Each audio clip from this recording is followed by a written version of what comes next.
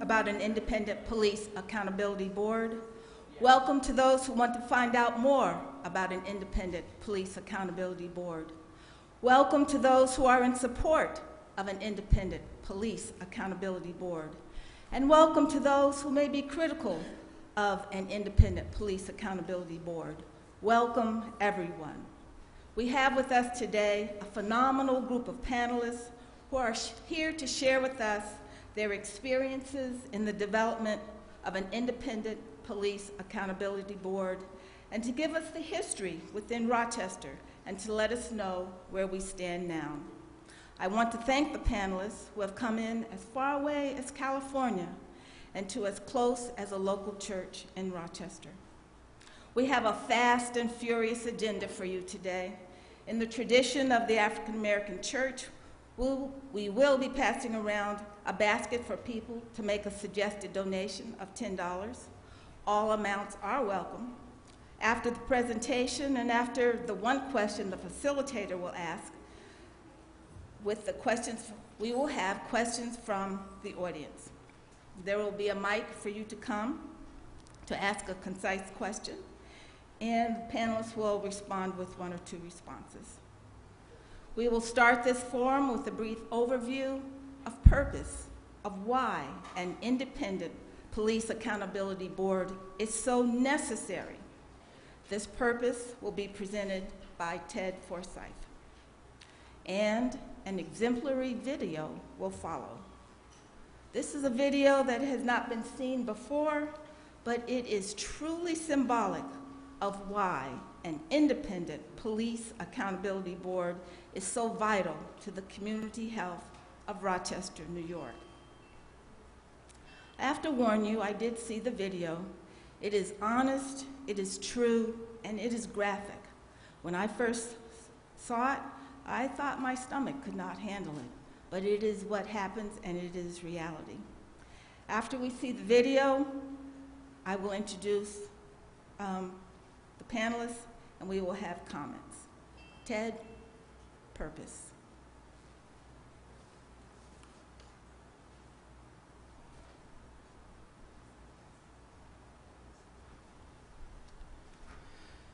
Thank you, Dr. Harrison. Um, I'm going to scooch that up a little bit. Uh, we are experiencing a couple of technical difficulties, so uh, the videos are going to be shown, but they may not be shown exactly in the order you described. We'll either show them right before the panelists or right after. So we just want to keep you around longer on this Memorial Day weekend. Uh, good afternoon, thank you for coming today. Uh, I'm thrilled to see all of you here. Um, I want to talk a little bit about what Enough is Enough is. Uh, discuss the origins of today's event, and then contextualize uh, the two uh, videos we're going to show that Dr. Harrison alluded to. The work of enough, of, the work of enough is enough is twofold. On the one hand, we accompany people going through the current, uh, going through current criminal cases through the criminal justice system, uh, who've experienced police brutality, uh, ra- racial profiling, um, and harassment by the Rochester Police Department. We offer emotional and tactical support, demystify the law, attend court proceedings, expose misconduct of individual officers as well as the department, with consent if applicable, and provide direct support such as uh, getting folks to appointments with uh, lawyers or getting them to court appearances. Uh, the other thing we do is we, we tend to build coalitions and work for systemic change of how law enforcement does its work in Rochester. And those recommended changes come about through uh, personal testimonies and also through aggregate data uh, expressing police violence in our community. Enough is Enough has been an integral part of the campaign to educate the public on the Police Accountability Board. Our organization and over 85 other supporting organizations and affected individuals have moved on to the next chapter of this campaign, uh, namely passing the Police Accountability Board, with substantive powers such as independent investigative authority, subpoena power, disciplinary power through a disciplinary matrix, and the power to make recommended uh, changes to RPD policy and procedure. The, experience, the experiences of systemic police violence, structural racism and poverty, degraded housing uh, stock, the red- redlining, lack of jobs, uh, general indignities, uh, inadequate educa- education led many communities of color in cities across the nation, including Newark and Rochester, to rebel against these oppressive conditions, the oppressive conditions that they faced. Race rebellions, and I use that word intentionally, consumed Rochester in July 1964 and Newark in July 1967. By rebellion, I mean an open and defiant resistance to government policy, unlike uh, a riot, which is a, uh, spontaneous, uh, uncoordinated um, act of violence. In 1966, uh, the Black Panther Party for Self Defense organized in Oakland, California, ostensibly to protect people of color from uh, uh, the racism and brutality of the Oakland Police Department. The struggle for racial, political, and economic justice continues today across this nation.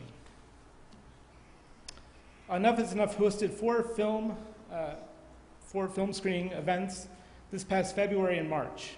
We began the series with Revolution 67 about the race rebellion in Newark, New Jersey.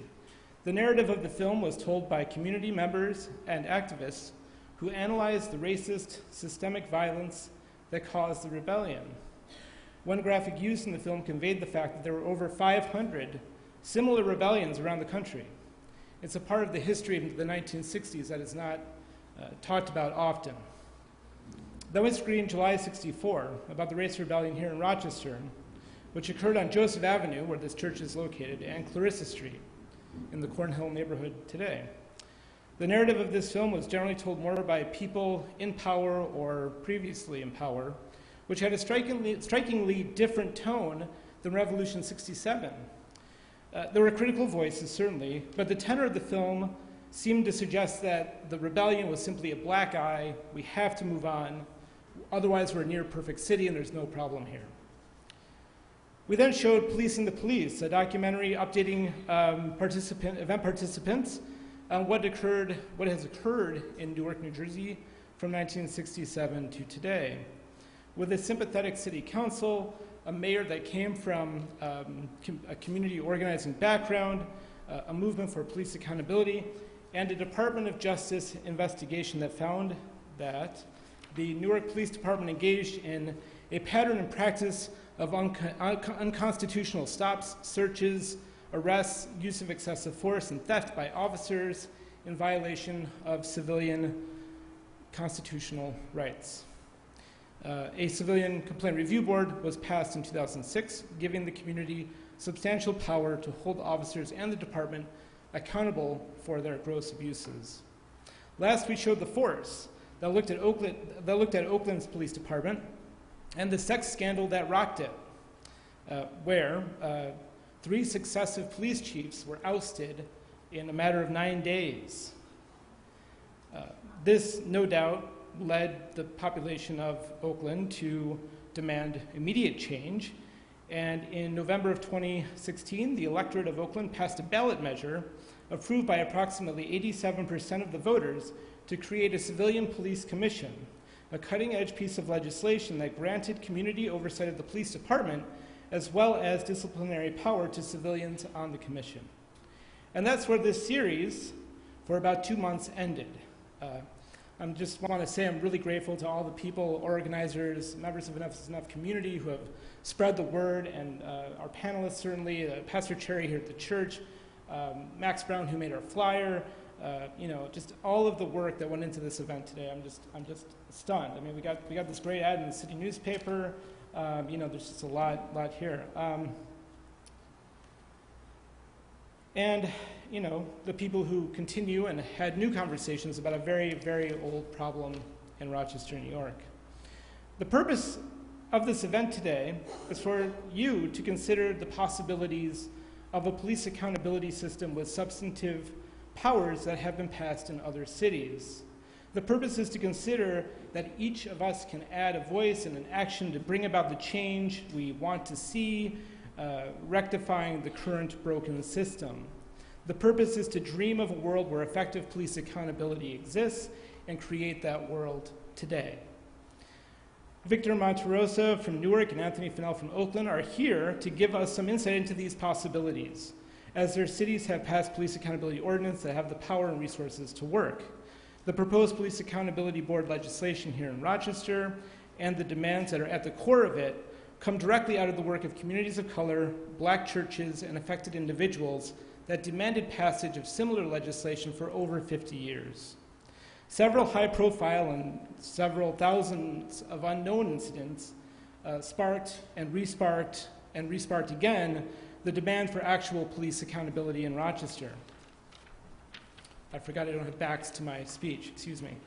Um, so, some of those sparks, I'm just going to name some names here, are um, Rufus Fairwell, A.C. White, Denise Hawkins, Alicia McCuller, uh, Calvin Green, uh, Vandy Davis, Craig Hurd, Lawrence Rogers, um, Patricia Thompson, Hayden Blackman, uh, Israel Izzy Andino, and Richard Gregory Davis. We are so very close to this goal now, today.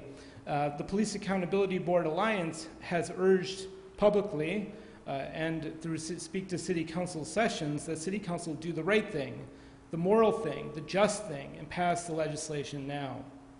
One of the things, that, uh, one of the things PAB advocates have been doing as of late is strategizing about how to move this fight forward.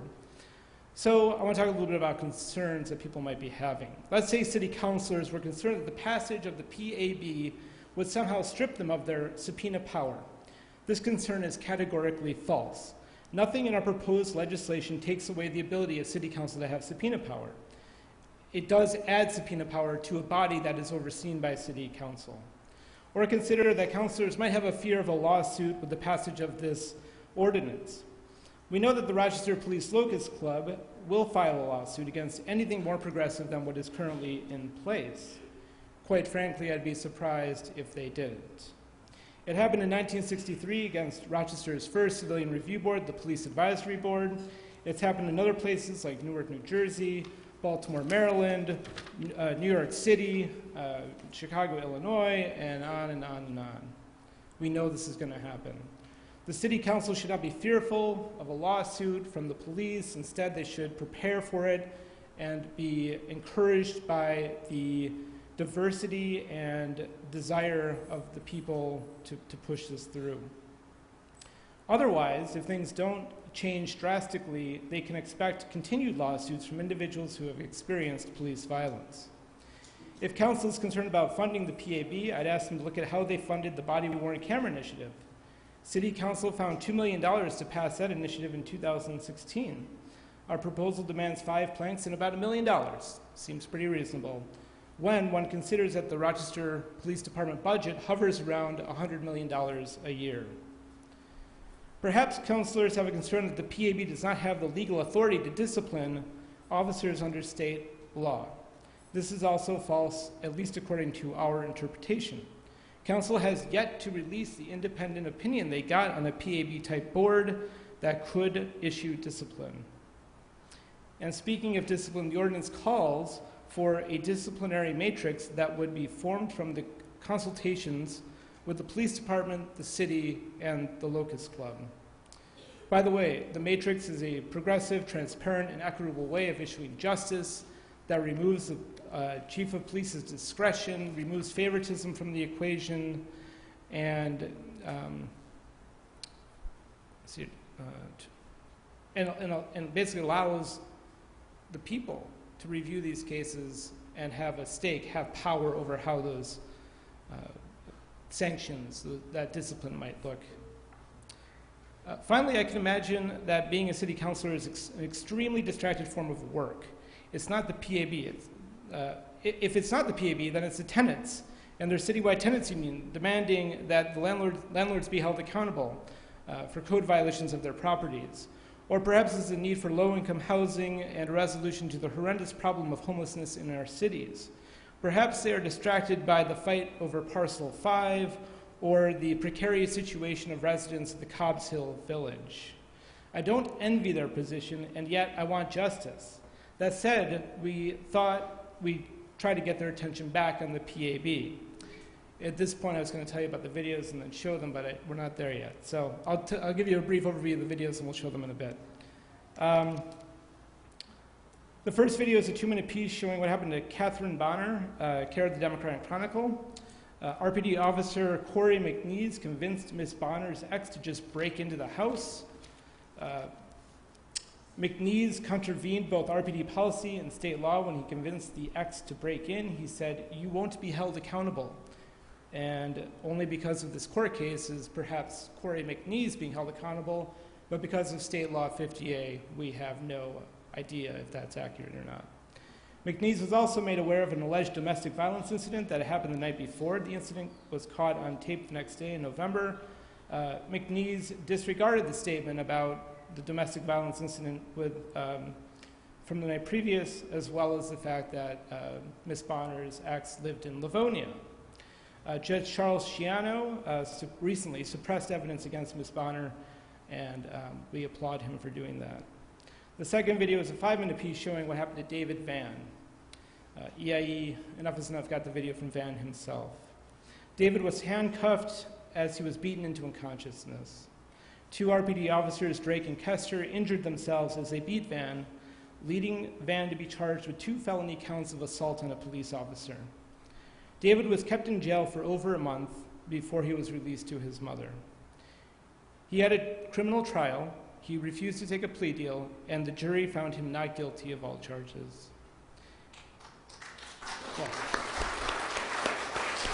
So, unique, um, unique moment in judicialness, I guess.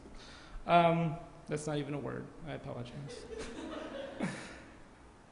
Just uh, last week, his attorney, his civil attorney, Ellie Dolby, Dolby Shields, filed a 130 page civil complaint alleging police brutality, violation of civil rights, a cover up, and a pattern and practice of abuse in the Rochester Police Department for what happened to David.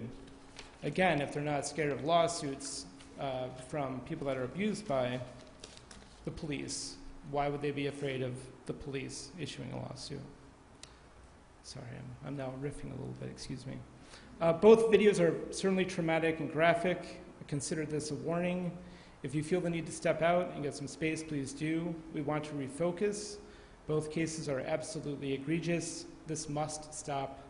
City Council must pass the Police Accountability Board now. Enough is enough.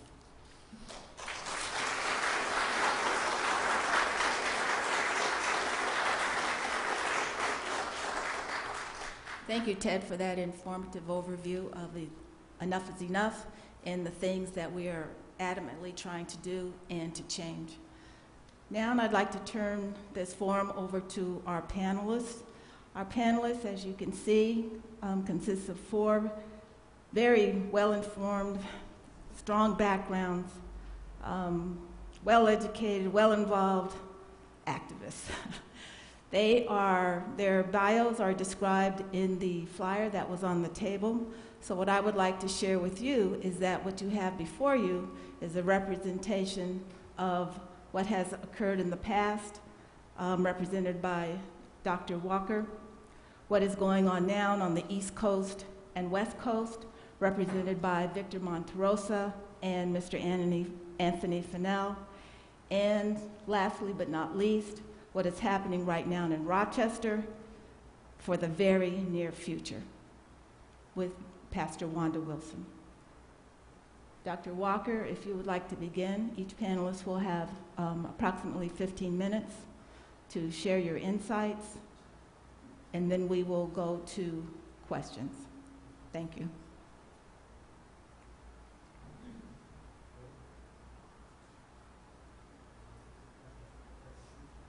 Maybe the second one will be on.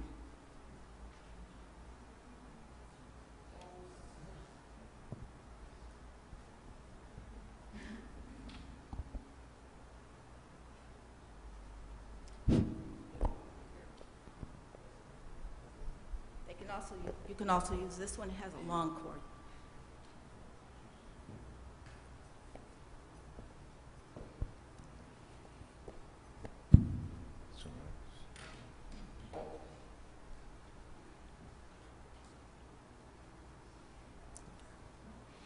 All right, good afternoon, everybody.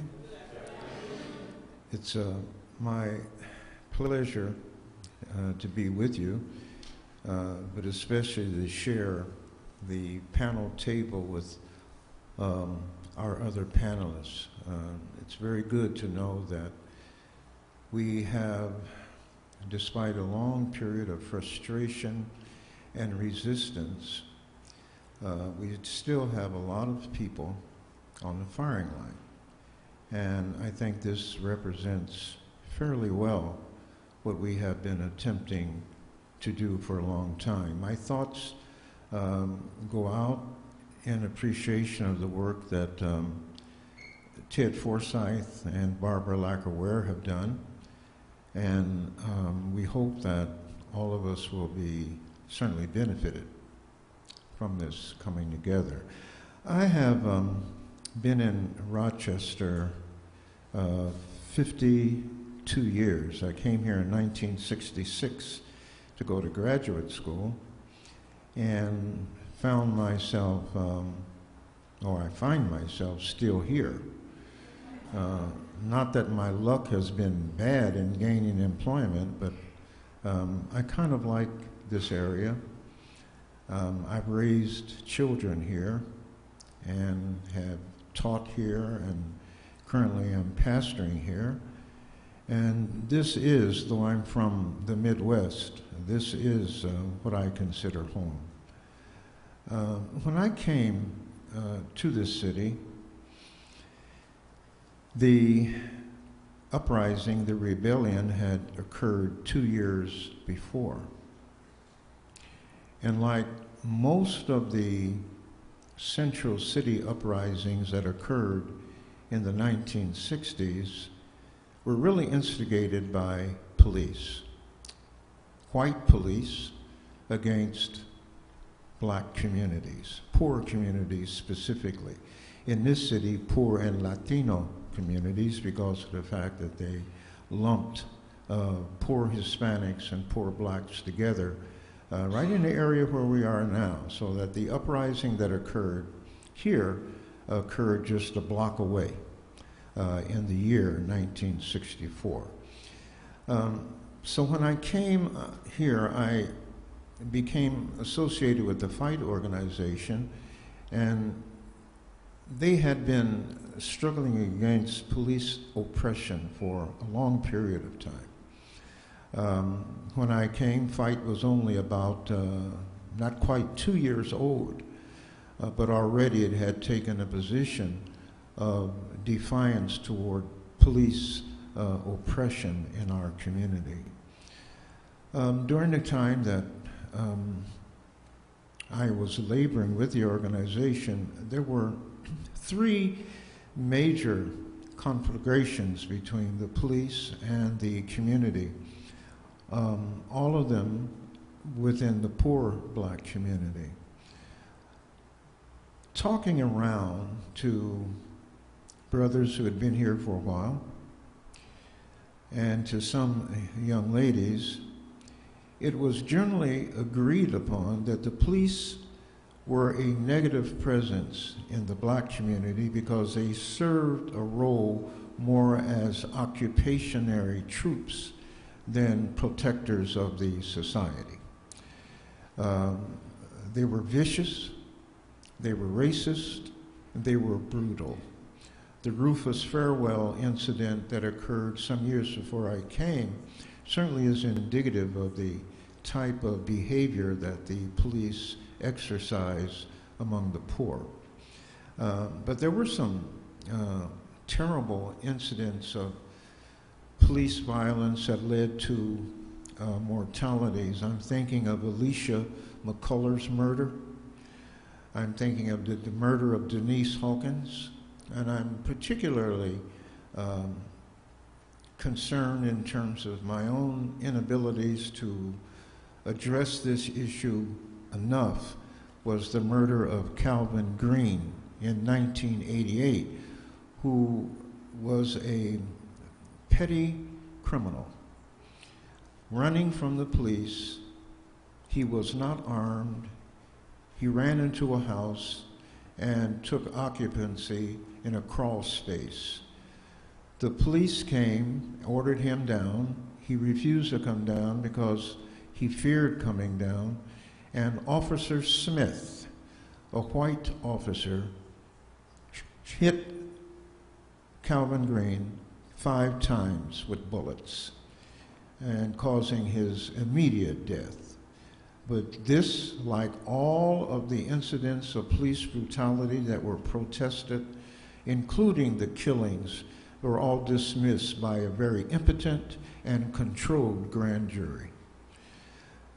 We, as a result of the Calvin Green murder, uh, the United Church Ministry, to which I belonged under the leadership of Reverend Raymond Graves at that time, uh, thought that it would be good to put together a report demanding a civilian review board. That's what we called it, a civilian review board, which we did. It was 32 pages long, and we gave it to the mayor, who was Thomas Ryan, and we gave copies to every member of the city council. Only two city council persons took it. Uh, one was Latino, and the other one was African American. Um, predictably, all the other members of the council were white persons. I doubt very serious if they read it, uh, but it was read by the other two who supported it. And as a result of that support, uh, we thought that we were at least heading into a situation that would be less frustrating than we had observed in the past. But the mayor, Mr. Ryan, did not even look at it. And as a result of the grand jury hearing on Calvin Green, again, the officer was excused. Nothing uh, illegitimate was found in his, uh, his uh, behavior at all. This frustrated us greatly. A 32 page document that dealt with all of the aspects and elements of police control uh, that we could think of that would be legitimately addressed. Um, in addition to that, we dealt with recruitment and we dealt with some other aspects, including education of police officers uh, before they could obtain a shield uh, and a gun. But nonetheless, uh, despite what we felt was a quality offering in terms of a proposal, was uh, shot down by the uh, no pun intended, but was really rejected by the police. Um, the, for a lot of this, the Thomas Hastings was the chief of police, um, followed by the man who was finally convicted of a felony himself and sent off to prison, incognito, of course.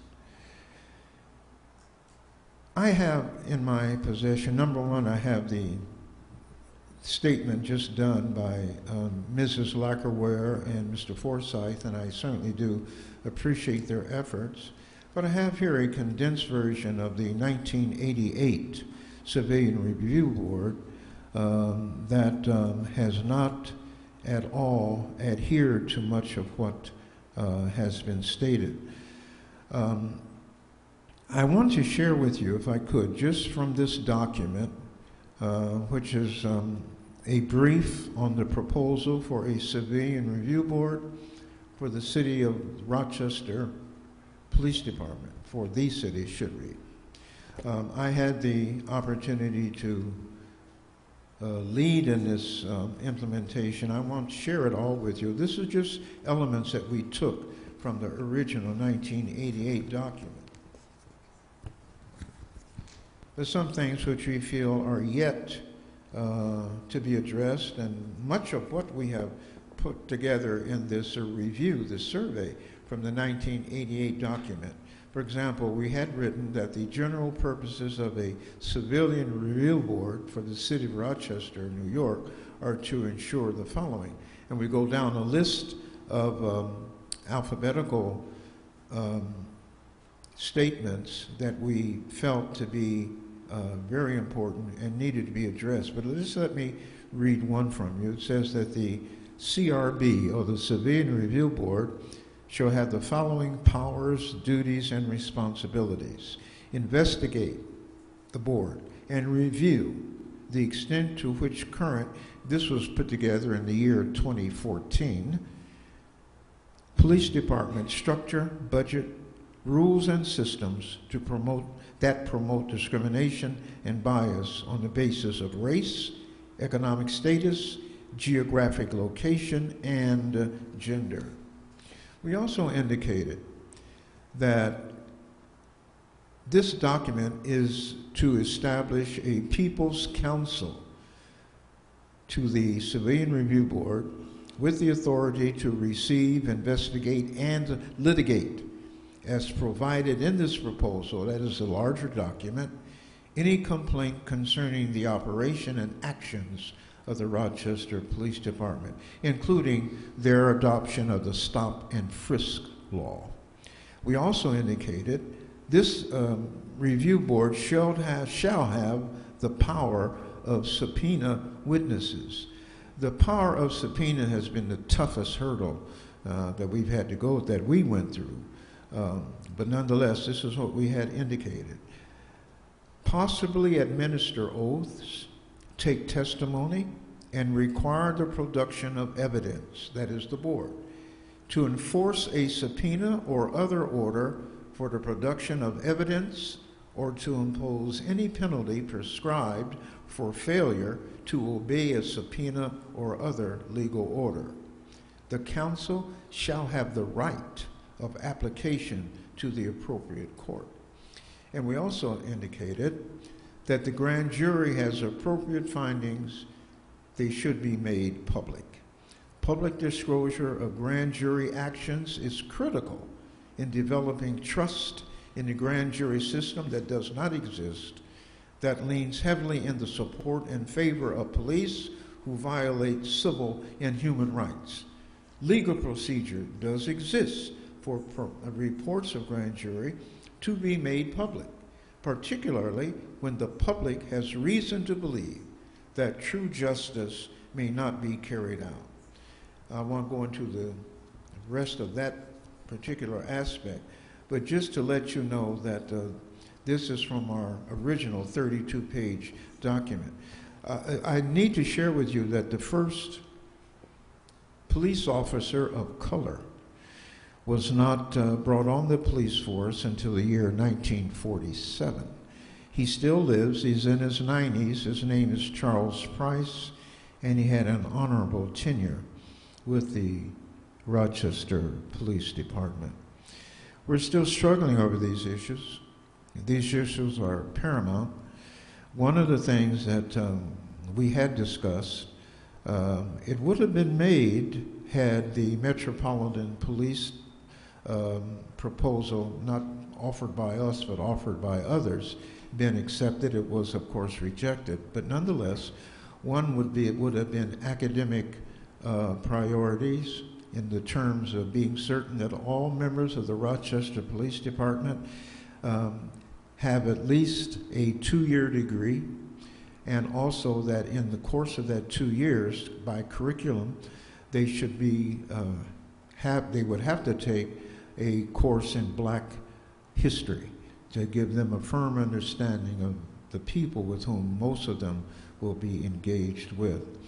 One of the things also that we thought was very, would be very helpful to this process uh, in terms of the police community um, elements that we are talking about would be the uh, factual, effective communication to recruit um, qualified police officers, um, black men, Hispanic men, and women uh, to the Rochester uh, Police Department.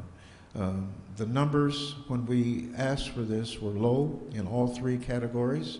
Uh, we are happy that there is an, an, there has been an increase in the percentage of black male officers, black female officers, and um, white female officers, but um, it still is a new portion of the Rochester Police Department that has not gotten the numbers together uh, quite yet. Uh, but this is where we are. Uh, this is where I am. And uh, we're hopeful that through the educative process and we're hopeful that through the uh, correct direction of the uh, police department with respect to honoring both documents, that we will find ourselves in a situation where the police have become uh, more accountable, far more accountable than they were 20 and 30 years ago, when black lives absolutely did not matter.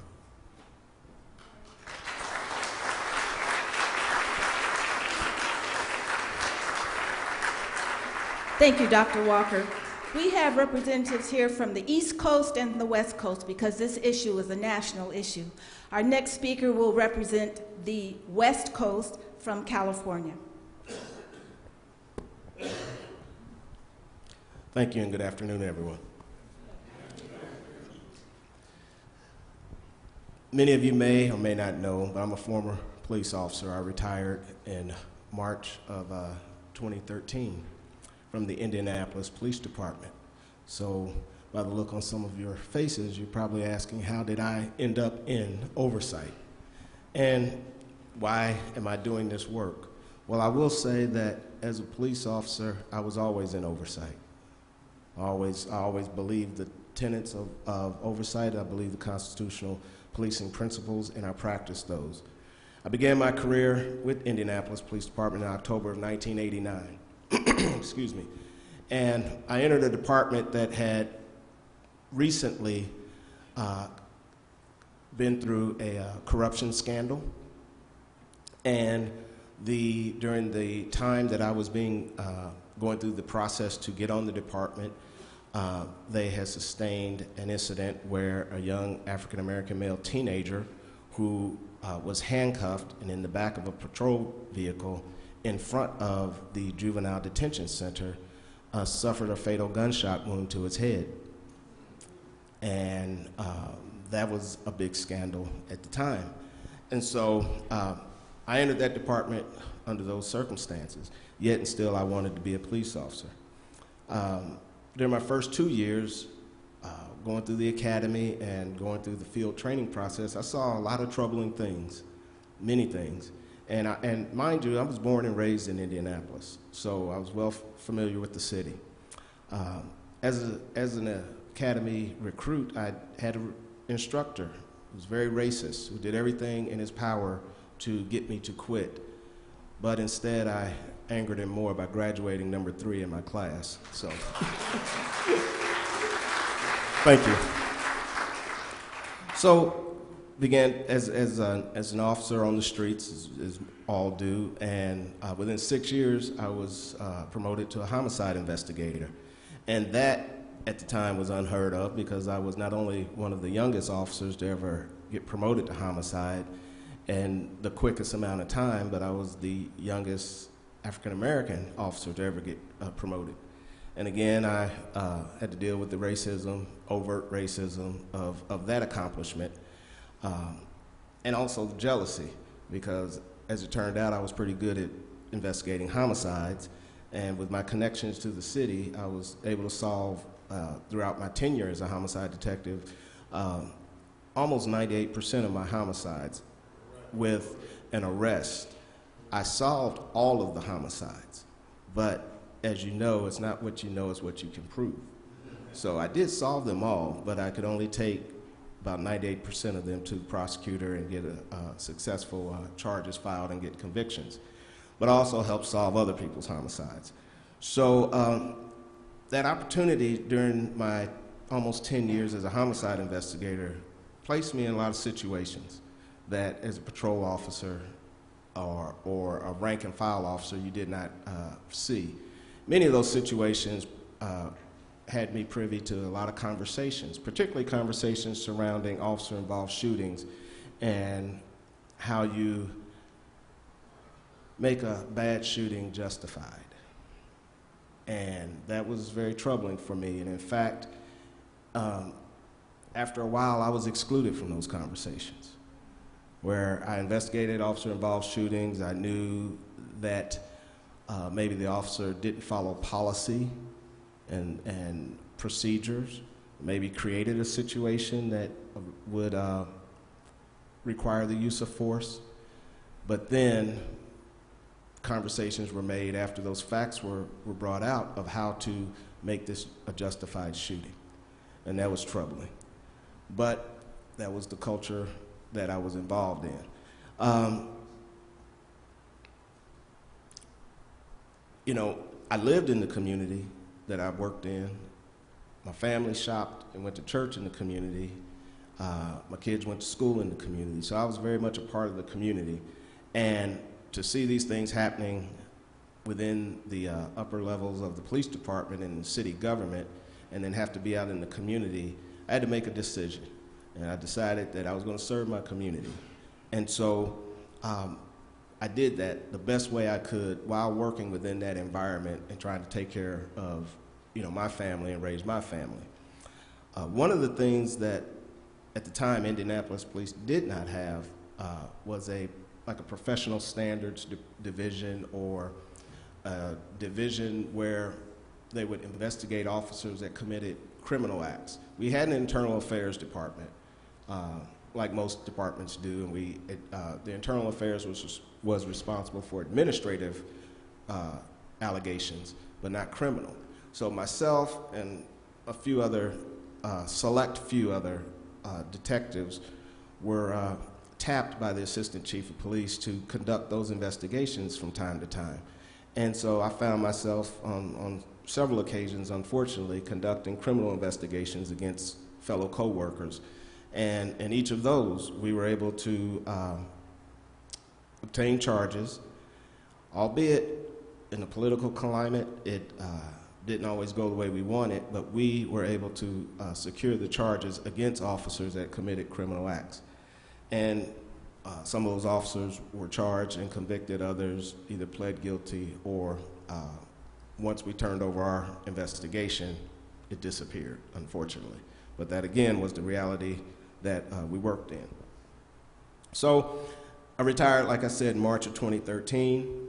And during my 23 and a half years uh, experience as a police officer, I held a lot of different positions. Uh, became a field supervisor, unit supervisor, um, became a, a OK program co- coordinator, and the OK program was a program that myself and my partner at the time, homicide partner at the time, we, we founded, and it's a law enforcement-based mentoring program that we, ironically, found operating in uh, Rancho Cordova, California, which is about 50 miles from where I currently live now, and we brought it to Indianapolis.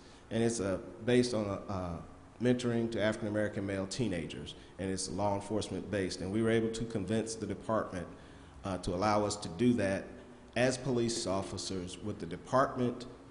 Uh, their contribution was paying our salary, providing our benefits as they would if we were on the street patrolling, and uh, we got to do that full time. And then, of course, we had community buy-in, uh, and we funded this program, which at its height if we had to pay for everything that we provided to the community, would have been in excess of $1.2 million. But we were able to fund it with contributions, and annually, through uh, nickels and dimes, I was able to raise $50,000 in cash, roughly, to actually pay for the things we had to pay for. But we convinced the community to provide us all the resources we needed. And usually at the end of the year, we were able to take anywhere from 20 to 25 of the uh, successful mentees on a week-long trip. And we took them to places like Atlanta, Georgia, Washington, D.C., New York City, uh, Florida. And uh, when we took them, it was completely paid for, and they didn't have to pay a dime. And we also took about 10 uh, uh, chaperones.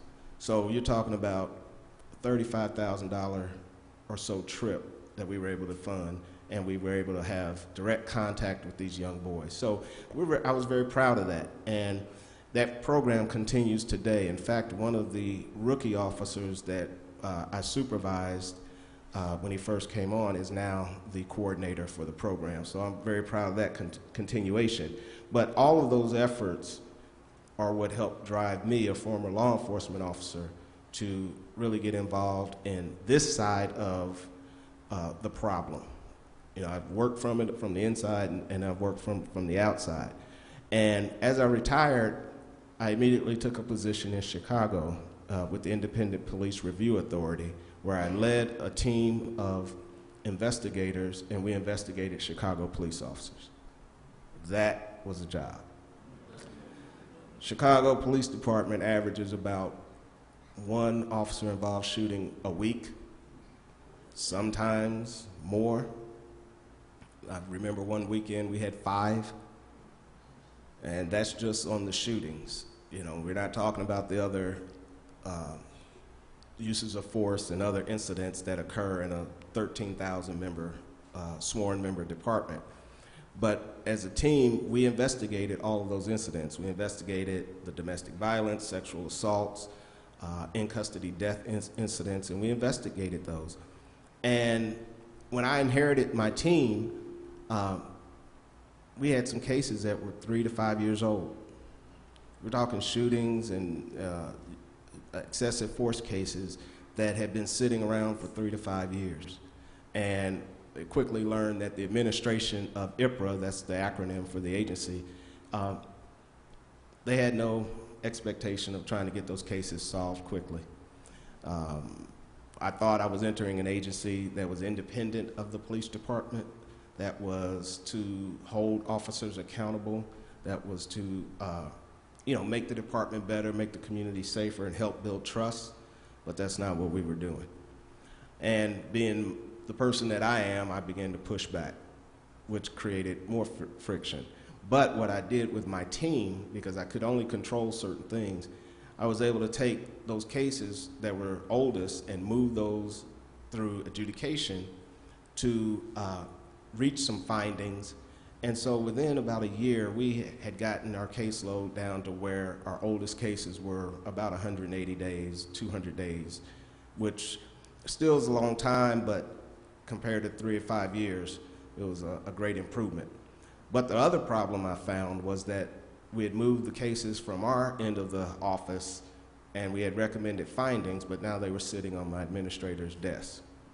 And uh, for whatever reasons, they would not be pushed through to the police department or they did not like the findings. And we, I would get pushback.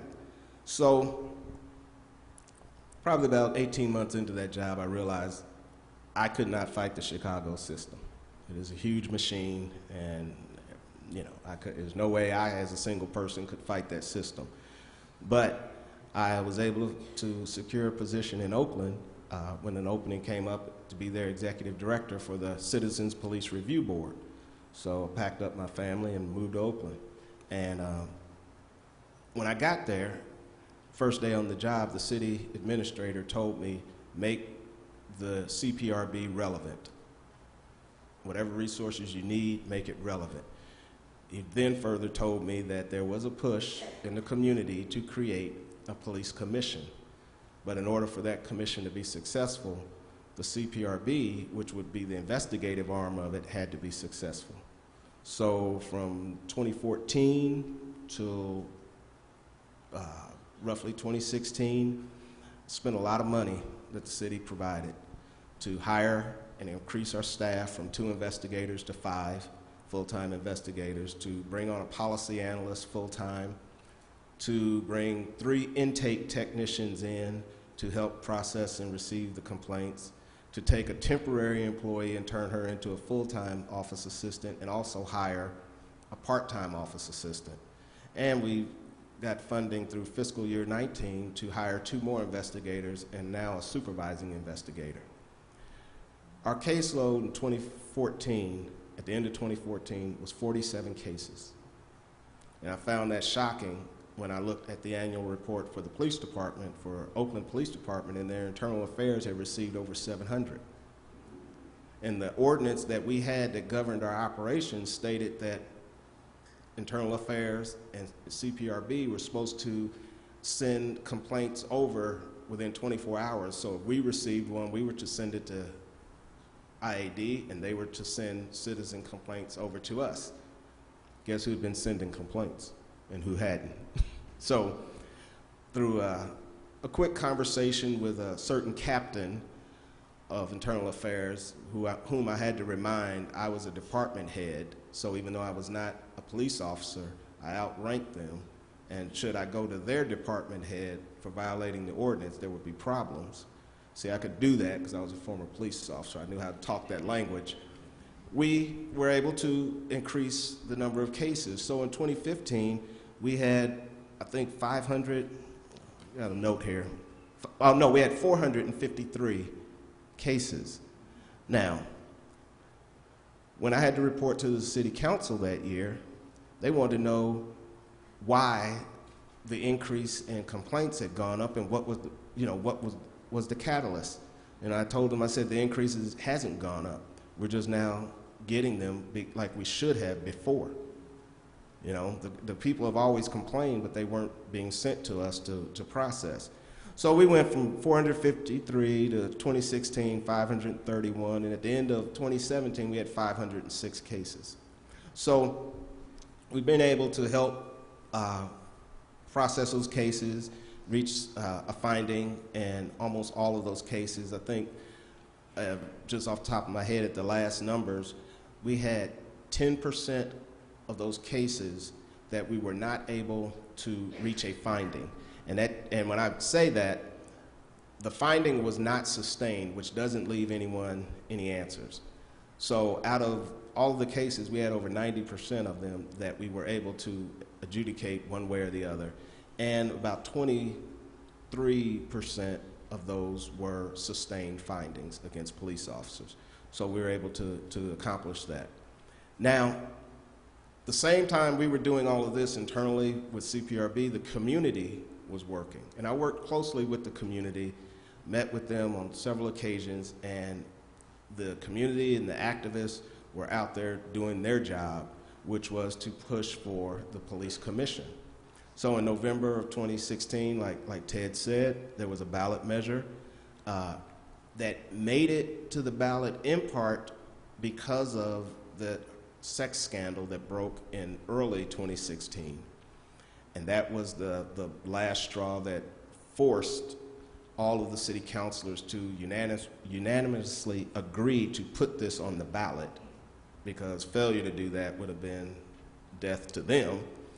And it passed with over 80% of the vote. So, thank you. So here in Oakland, now you had the investigative ins- infrastructure that was finally in place. You had the uh, community infrastructure for the police commission that was now uh, going to go forward. And uh, we still have a lot of work to do. So one of the other things that I had to do was develop a uh, way to capture all of the data, be able to use the data in a meaningful way, in a way to better process the complaints that we were receiving. Because we anticipated an increase in complaints with the police commission because now was a revived interest and renewed faith in the system from some of the community members that now that we had uh, a system with more teeth and more authority, things would be done. So uh, I worked with our IT department and we created a mobile app and a database and case management system for my, for my agency. The mobile app is just what it is. It's an app that people can use on their cell phone or any other mobile tablet or device to file a complaint. So if you're on scene of a location, even if you're not involved, and you see something that's occurring, you can shoot a video, log into the app, and send it to us. From, from, thank you. And on our side, even if I got 50 videos of the same incident, I can link all of those 50 to the single incident, and that gives me 50 different perspectives, not just the body worn camera. And it helps us make a better, more informed decision. Um, we have a complaint portal where people can log in and monitor the pros- uh, progress of their complaint. They can uh, add uh, documents or any other evidence directly to the file, which goes, which is electronically sent to one of my investigators. And uh, like I said, it can be used uh, with any device that has internet capability. Now, on our side, on the internal portal, as a manager, I can now uh, have instant access to see how long it's been since one of my investigators has actually touched one of their files. Because if they don't go in there and put something in there after a certain amount of time, it's going to send them and myself an email that says, hey, do something with this file. And so that helps, again, move the cases along a, a lot quicker. It also helps uh, with the sh- file sharing between us and internal affairs to where if we get a new witness, you know, since we're working the cases simultaneously, we're not in competition with them. We all want to find and adjudicate the cases properly. So if we come up with a new witness, it'll send an email to their investigator who will know, okay, there's something new on, on the case, as opposed to having to pick up the phone, try to track them down, and vice versa. And, uh, and then we're working now with IAD to get a similar system on their side to send to us. Oh, thank you. I'm sorry.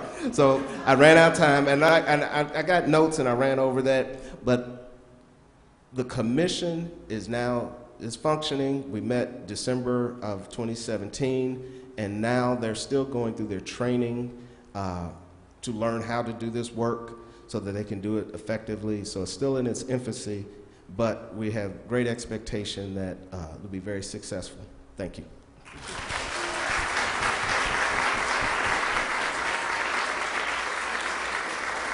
Thank you, Mr. Finnell. And now we're going to have insights from the East Coast with Mr. Monterosa. Thank you. Good afternoon, everyone. So again, my name is Victor Monterosa, and I'm uh, here from Newark, New Jersey. Welcome, oh, not welcome, greetings from Newark, New Jersey. Sorry. Uh, I um, am. I grew up in Newark, and I, when I was 15, I uh, became involved in activism there. Uh, I went to school and returned and continued my activism, and I got into several different aspects of organizing there. Um, I eventually, one of the, the largest ones is uh, um, this issue of police misconduct. And uh, I went to law school, and shortly after I graduated, um, my wife was working at Ironbound Community Corporation, a, a large nonprofit in, in Newark, a very old, long-time nonprofit in Newark. Uh, they were looking for a nominee for uh, a, a civilian complaint review board that was supposed to be put together.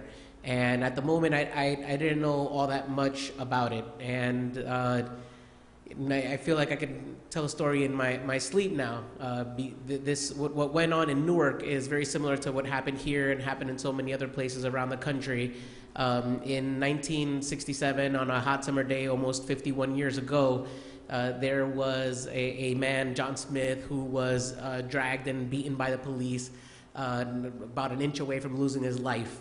And folks in Newark, unfortunately, had seen this so often and had already been uh, uh, really, they were done being terrorized by the police.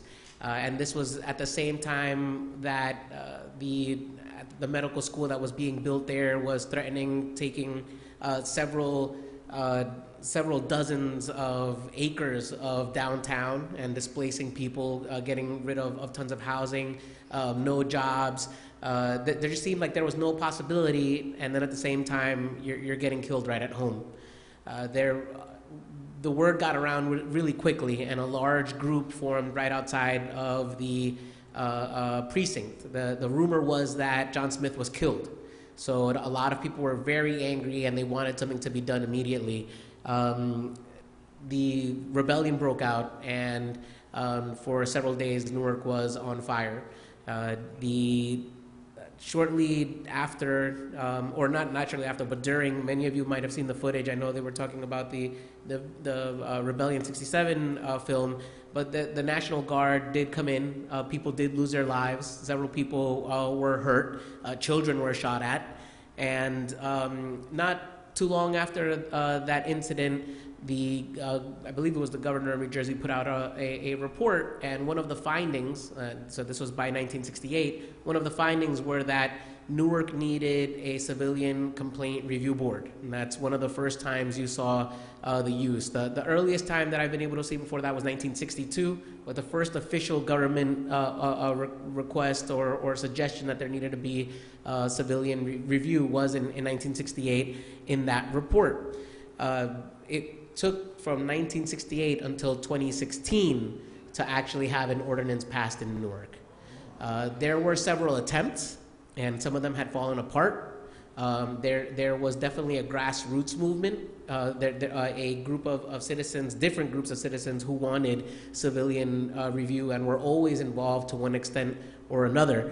Uh, but by the, the what, what happened in, in by 2014 is that um, there was a big change in administration. Uh, the uh, Mayor Booker had gone into the Senate, and we had an interim mayor, Quintana, and um, many of you might know um, Mayor Baraka, son of, of Amiri Baraka, ran, and um, he, he became mayor.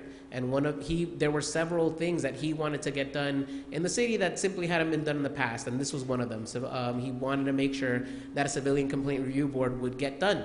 So he wrote up an ordinance and he, he attempted to, to push it forward, uh, but he received a, a, friendly uh, um, note from the ACLU, who took a look at, at the ordinance that was prepared and said, I think that there, there's another way that we can approach this. Just be careful because you're definitely going to get attacked. They're, they're definitely going to try to pull apart this ordinance.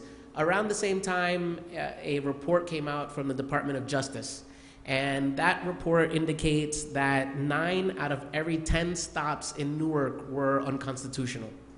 Um, so uh, there, almost everybody that got, got stopped in Newark, well, their constitutional rights were being violated. Um, this, along with the fact that uh, the, in, the, of the internal affairs uh, reports, um, very few of them were ever actually being filed, and almost none of them were sustained. I think three of them were seriously, uh, over a period of a decade, in, in that DOJ report, um, you see that three of them uh, were, were got to some type of ending process, and only one of them was sustained, uh, which was later withdrawn. So the IA system just wasn't working at all. The policing uh, definitely wasn't working or, or wasn't uh, serving the community. Uh, and ACLU said, um, you know, Mayor, let's sit down and, and, let's start figuring out how we can put together uh, a, a, a, good, a strong civilian complaint review board.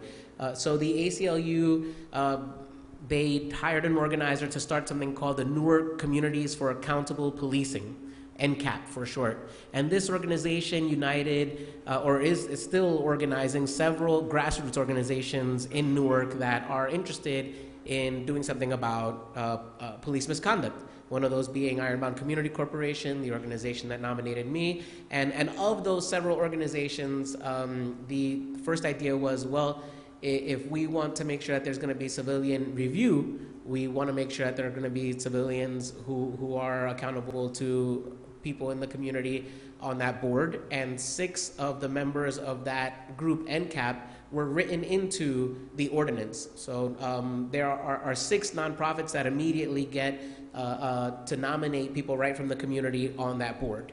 Um, and in addition to that, I, I, that's one of the things that I just I really like because I see that there's that direct relationship. But some of the more powerful features, of course, are first the subpoena power. Uh, the, the city of Newark granted subpoena power to the board so that they can summon uh, folks to, to, to, answer. Otherwise, uh, people will not show up and, there, and there won't be any type of uh, decision afterwards. Um, along with that was what we call the dual powers. And the CCRB in Newark not only would be able to, uh, when it was written, write or do adjudicate by doing an investigation on their own as, a, as the CCRB. Uh, however, they would also be able to review internal investigation, uh, um, internal affair uh, investigations, and um, that that was really exciting. Uh, the there's also this uh, quarterly reporting and, and a much larger yearly reporting that's supposed to go on go on, and everything. I mean, look, it looked great. It, it, was well put together. Uh, it initially got passed by executive order. It was then passed by the uh, council unanimously. Uh, but something interesting happened after that, which was uh, it, it there was this, this kind of feeling of when is the when is the, the police lawsuit going to come in? Everyone knew that the police uh, had threatened to sue. They had succeeded in the past uh, with, with one attempt to bring up or to form a civilian complaint review board, and so everyone was kind of waiting for it. Uh, and during that time, so uh, there's the, the unanimous, or there was the, the passage by executive order, and um, I was one of the first people that were able to sit down at the table, and I got to see everyone gradually join. Uh, but during this time, um, and, and I bring this up only because we, we must all be vigilant of this. Be, because we were waiting for the lawsuit, we didn't train people on time. We didn't create the infrastructure that was uh, necessary, and I, I could explain a, a, bit more of of what exactly that looks like. Um, but we did take visits, for example, to the organization in New York City, and we saw um, e- even the numbers that, that, that you're mentioning or, or that I'm hearing in, in, this, in this proposal uh, uh, is a lot more than Newark was willing to do or has been willing, willing to do in the last couple of years. Um, the ordinance itself says that we should start off with a budget of $500,000, and that has never been appropriated. We've only received 50,000. Um, and so we, we're, we've been somewhat stuck. We did get the, this, this uh, uh, ordinance passed, um, and then the other shoe dropped, which was they finally sued. The FOP and, and, and PBA finally sued, and then everything really did come to a standstill. We didn't know uh, what exactly was going to go on. There was some issue uh, with corporate counsel, and um, eventually, what, what we it, eventually they, they, that lawsuit, that first lawsuit was an, an employment lawsuit. It was actually an administrative action, um, and it was uh, saying that the police contracts, that this would violate police contracts because it was uh, extradisciplinary. And um, the, the judge uh, did not find that this was extra dis, uh, disciplinary, but in a later um, suit, a uh, one of the judges in the civil court decided to place the injunction, and we lost um, subpoena power. Um, we now are able to review and to uh, review policy and train. Uh, we can look over uh, uh, some of the IA investigations only to a certain extent. Uh, but what we've been told as the Civilian Complaint Review Board by, by the mayor is um, that we need to push the envelope because right now we're in a in a gray space where we have a, a judicial order that, that says some things that we can't do, and it's unclear to what extent we, we can can or can't do it. Uh, as the CCRB ourselves, we continue be, being committed to creating the infrastructure that's necessary. Uh, besides just the board members and the investigators, there, there will need to be a, a lot of training. There will need to be um, a lot of computers and computer se- uh, security. Uh, there, there will. I mean, it, the, if you when, and I know it's, it's super far away from here, but if you ever get the chance to, to, to visit um, the the CCRB in New York City, I mean, I, I think that's something that we can all aspi- uh, aspire to, to at least have an infrastructure like that, a, a, an office setting um, like that. So um, I, I am very glad, and in Newark, we are very proud that we have still uh, passed one of the strongest uh, civilian complaint re- uh, review board ordinances. Uh, we are waiting, however, to see um, where where uh, the cards are going to lie. Are how strong can we um, be? Will we be able to fight back um, the injunction in, in, in, in an upcoming appeal? Um, these are all uh, questions that you know it's going to take time before we, we receive an answer. But perhaps the most important part of all of this is that the, the, the people of Newark didn't just stay on, oh, our civilian complaint review board didn't work, and now we don't have um, oversight. Instead, um, the mayor uh, started one program called the, the Civilian Cler- Clergy um, uh, Officer Committee, and what that allows is for civilians and clergy to work with police and actually uh, be on the streets with them. And this has uh, led to de-escalation of some issues. It's, it, it is more on, on board with the idea of uh, community policing, and it, in that way, without the uh, direct review, there's still influence from the community and community leaders on the police. Um, likewise, there are, there are, there's an increase in precinct meetings, which existed um, before, but there, this, there's a, it almost would happen voluntarily. Uh, now there's more of a, of a need to have them regularly and, and this push to make sure that um, folks are accountable or that police are accountable to folks in the community. Um, NCAP is continuing to, to get more um, of their leaders on board. Uh, but even in, in that sense, we have to uh, be vigilant because some folks wanted to take community people off of the board. Um, so my, my, my point is the, the reason that we've gotten this far, the reason why between uh, 68 to 16 something finally got passed is because of, of, of the power that people are able to put together, the, the concerned citizens. Don't give up no matter what because um, what, whatever we're pushing towards is really um, that goal. And policing is, is not only a board, this is a very integral part of it, but there's a lot that we can do to make sure that we reduce police misconduct.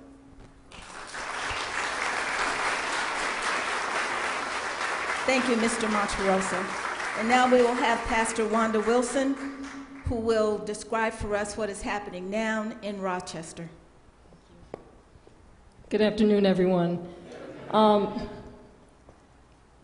what's going on in Rochester? Well, let me start by telling you that right now we have a 2% sustained rate when it comes to citizen alleged complaints regarding police misconduct or police brutality. 2%.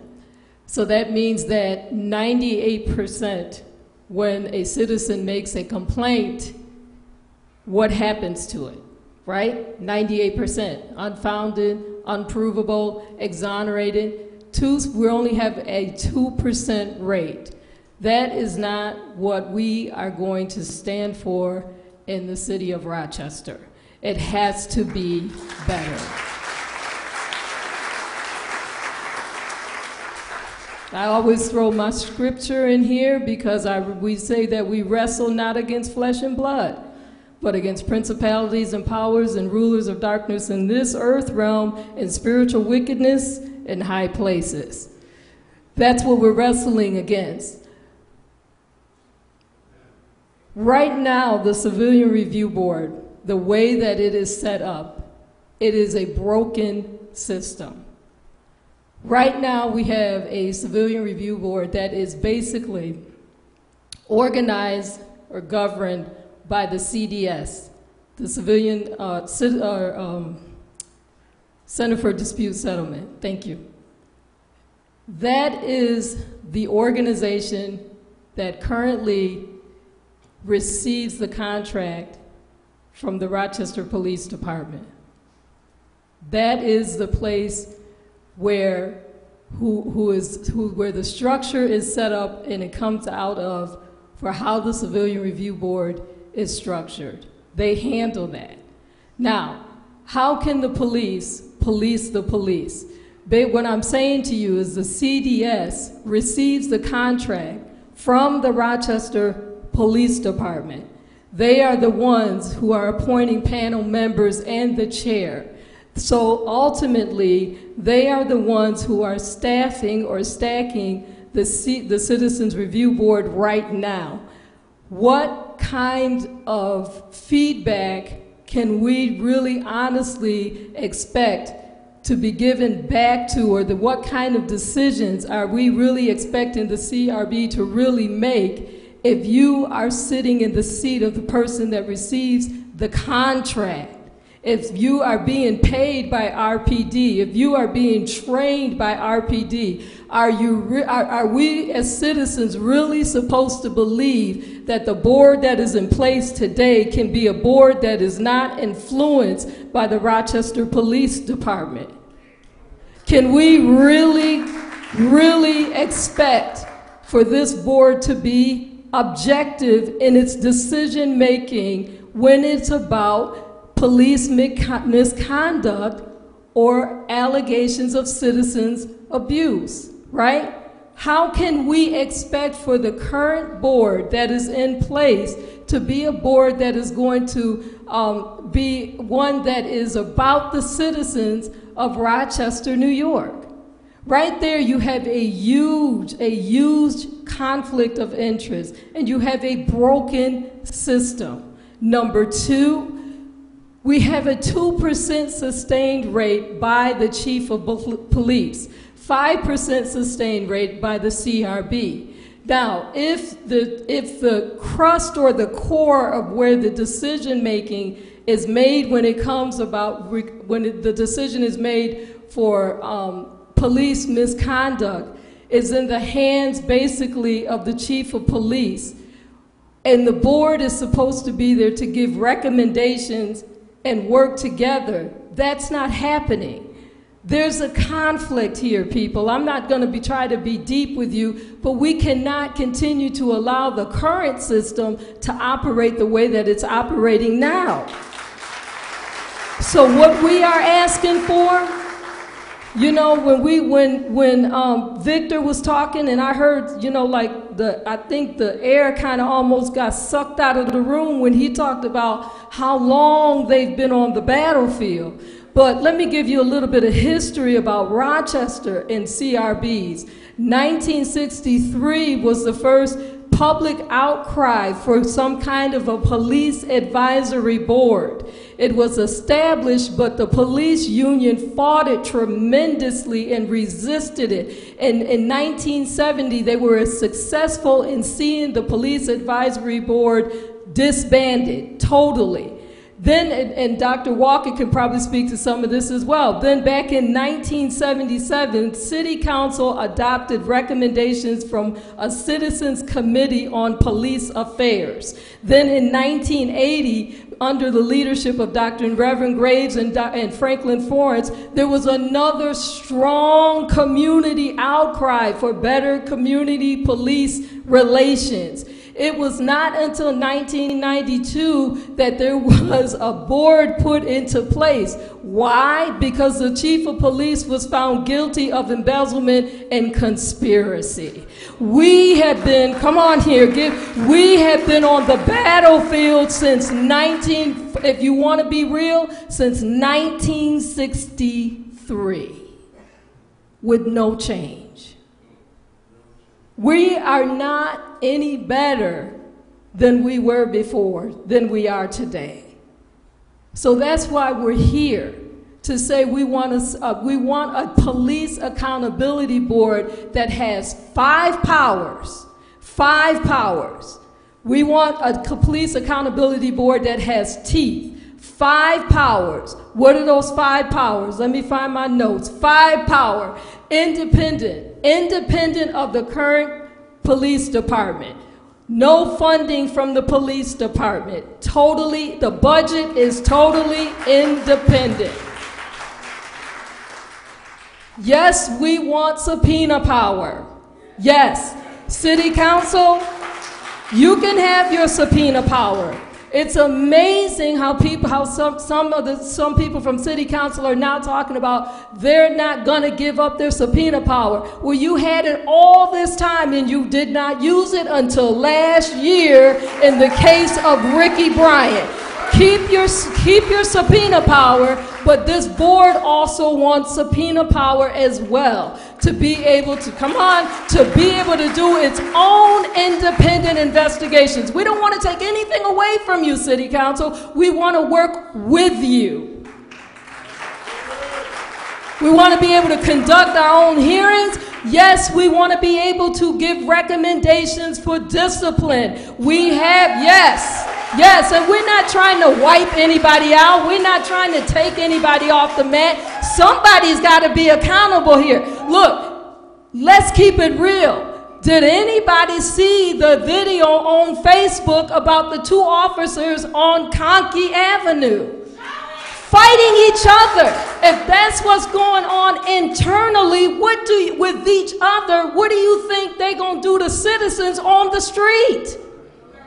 You got an internal problem. We want to be able, as the board, to be able to evaluate the systemic patterns and practices that are taking place inside of that department. Because guess what? It's you told on yourself on that video because it's spilling over into the community. How can you expect the community to respect you when you're not modeling the behavior you want from the citizens? Enough is enough. Enough is enough. Our people should be able to be free in their communities. Rolling up behind us like they on a hunt. What kind of mess is this? You'll be traumatized for a month if you missing a tail light. And I got a witness. You'll be scared they're gonna roll up on you and that a stop from a ta- broken tail light can run into you being bankrupt. Huh? Because you're gonna stay in the court for this, for that. Could end up with you losing your life. We're not here.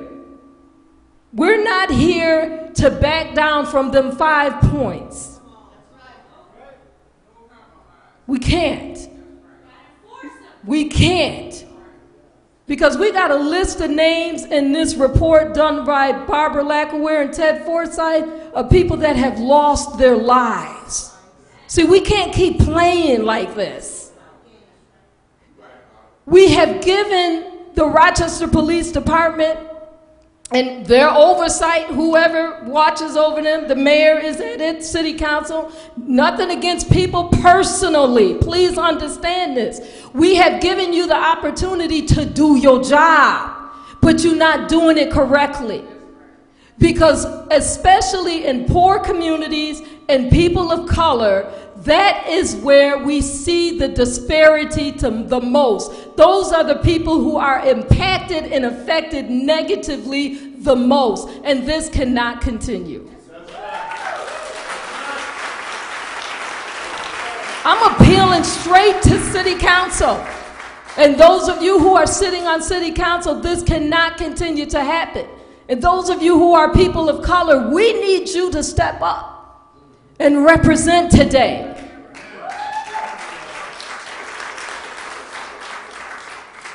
I don't know, it's my time up because I'll start preaching. You know, I'm a preacher. Uh, I'm done. No, you are not done. As a matter of fact, I think you just did the summary and everything else and our call to action. But I would like to briefly summarize Pastor Wanda because you are going to do our call to action because it has just been going on way too long. We have um, Dr. Walker, who has presented from the perspective of the past, so we have heard what has gone on. We have heard from what, has, what can happen positively in California. I mean, really, an, a mobile app where you can report? Come on now. we have heard from New, Newark, what can happen when the infrastructure is not strong, when the money is not there, when the community is not in back of you. We have heard what can happen when you don't have subpoena power. We need to stick with that. And we have heard the need for a call to action, not, on, not only on the moral and ethical level, but on the spiritual level. Because as Pastor Wanda says, come on, people, right is right and wrong is wrong. Call to action. All right, so we cannot stay in this fight alone. All of us that are activists here locally around the world, we always need the community. We need the partnership of the community to help us, okay? So we got some strong people, yes, that are on the battlefield, but we need the backing of the community. We need the backing of all of the spiritual leaders in Rochester. What are we asking you to do? How are we asking you to back us? Number one, speak to council. Go sign up, speak to council, tell them that you support this police accountability board. We need you to, when the events are coming up, show up with us. Thank you for being here today, but show up with us. Amen. Spread it all over media. Spread it all over your Facebook page. Get on Twitter. Just go ballistic. This is one time you can just let it all hang out. Spread it like never before. We need that kind of support. We need your support as well in uh, funds, and, and I know, I think I saw the basket go around earlier today. If you didn't give, have a chance to give, we are asking for people to give at least at a minimum of 10, but of course we will, $10, but of course we'll take more than that. Why are we asking for funds for support? Well, we got to print brochures, we have to rent places when we do our forums, and we are looking for support monetarily for legal counsel. Amen. We've had some excellent legal counsel that has helped us along the way. But we understand the journey. Thank you, Victor. Thank you, Anthony. We understand the journey, and we in this for the long haul. So we need that kind of support as well. And then if you ever want to contact us, we have a Facebook page, Enough is Enough, correct, and email addresses. So that's what we're asking you to do. Amen. Thank you.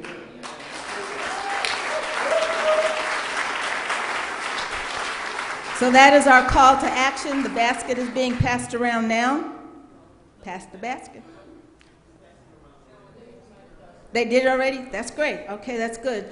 We have a member from City Council here, Willie Lightfoot, who would like to say a few words from City Council.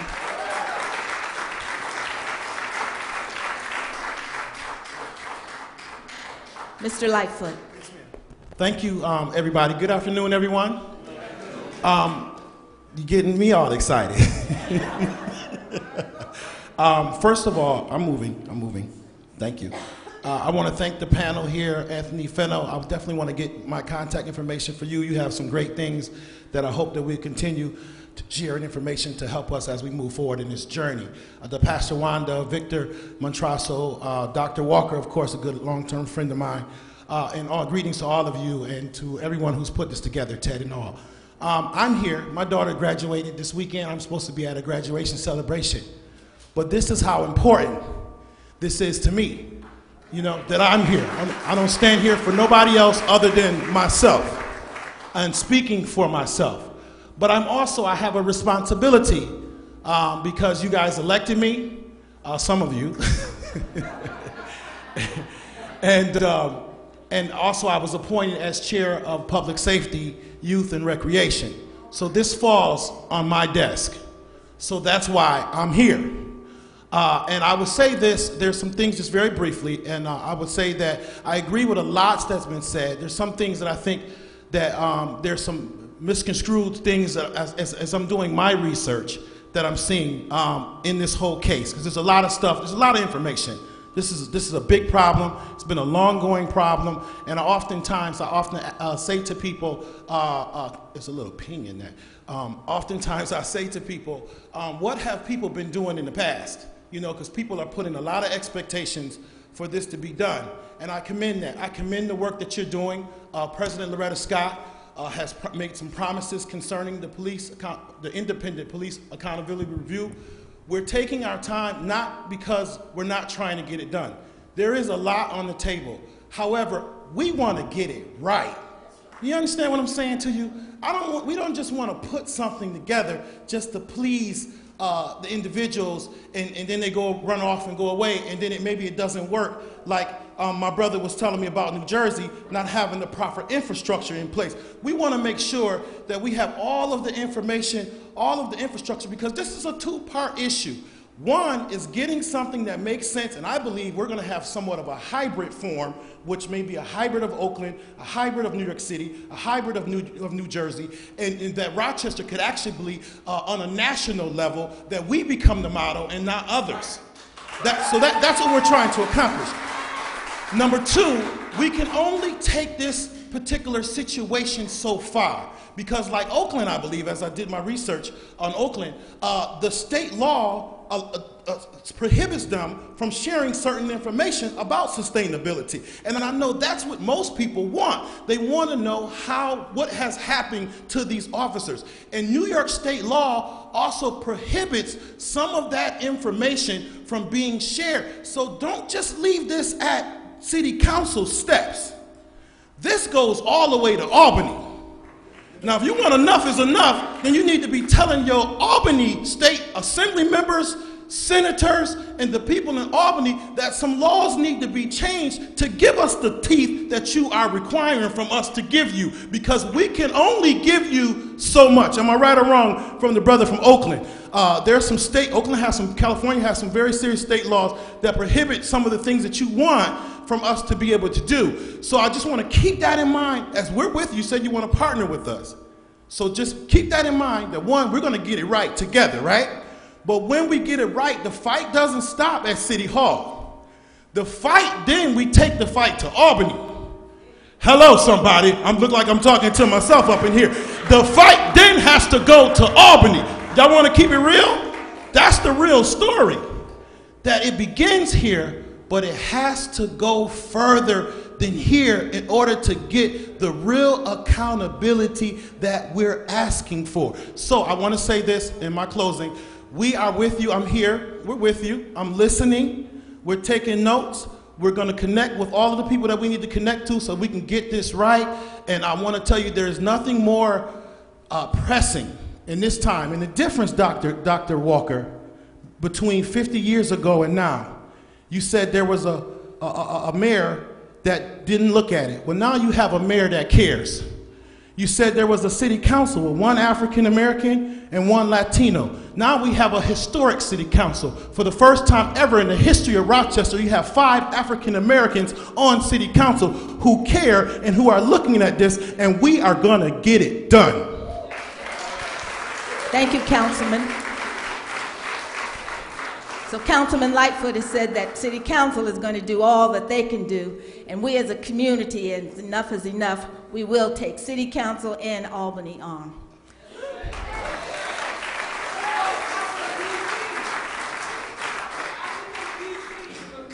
I'm sorry, what I missed that part. Oh, take it to the top. All right. We're now at, at quarter of three, and so we would like to have an opportunity for audience questions because we have a very strong and informed uh, panel here. So if you do have a question, please feel free to come up. And while you're doing that, that's right. If you are shy, we have someone who is passing out three by five cards and pencils, so you can ask your um, ask your question. So you can you can come up, and while we're doing that, I do have a question for a panelist. It'll, and that question is, what do you wish that you what do you know now that you wish you had known at the beginning? What do you know now that you wish you had known at the beginning?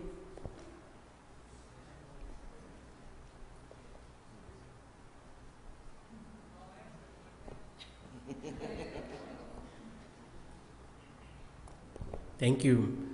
Uh, I I wish I really understood uh, then, in comparison to now, that uh, a, a lot of this you are making your own uh, way, not not your individual own way, but if, if the community is getting together and saying, um, "This is what we want," um, it, it, it it's it's you that's making that demand, and it, it's you're the, the fuel behind it. You're gonna have a lot of folks who will tell you this can't be done because of X law or um, one uh, government representative or elected official or the other will tell you, no, I don't think this could happen because of X, Y, and Z reason. Uh, the, the reality is that you, you have to, uh, as I said earlier, push the envelope. You, you have to make sure that you, you figure out what the boundaries are because otherwise um, time right, might run out and you may be too late. So um, don't let time run out. Take the chances. Um, you know, some folks, and one of them that believe sometimes it's better to uh, uh, apologize than um, ask for forgiveness. Uh, it, it, sometimes you, I mean, I'm sorry. there we go. To, to, That's my motto. right, right. To do it first and then ask for forgiveness, uh, because um, sometimes folks will, will correct you, or, or you'll find out later on what it is you couldn't have actually done. But you, you really won't know until you're confronted with that. Thank you. And real briefly, I, I guess I wish I had gotten involved to this level while I was still on the police department. Because once I got on this side and actually saw some of the laws that were actually passed, not that I could have stopped them, but I sure would have ran block and tried to, you know, because it, these things just don't make sense and they do make it uh, very difficult to uh, provide information that I think we should uh, be providing to the community. And uh, the reasoning to me doesn't make sense, even though it sounds good on paper. So that would be my wish.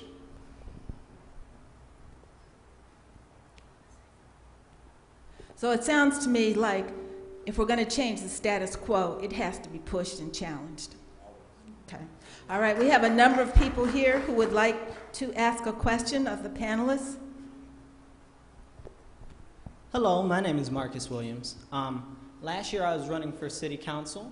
Next year I'm going to be running again, but this time instead of for an open seat for Southwest City Council. Okay, I am very concerned, not just by what goes on in our community with the police, what we allow to go on in our community with the police. Okay, because what's going on right now is the police believe that they can do whatever they want and not be held accountable. That's why we're here today, right? Yes. Yes. Okay? And the accountability board is a good step. But where are our people from our neighborhoods that are getting on the police force? How come there isn't more of that? I hear all of these people, I talk to tons of police officers. I love the police, don't get it twisted. Okay? They protect my house from people breaking in. okay? But a large thing is is that they're not from here. They're not from where we live. And they feel like they can do whatever they want because they're not from here. And it's a disconnect between them knowing who they are and us being residents and citizens. It's a lot about the power and control that they feel that they have, but at the end of the day, they're just people like us.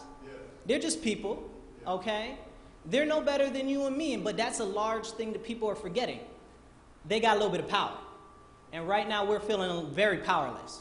And that's why we're making this move right now. But we need to do more. If the police are supposed to serve and protect, where is the community service?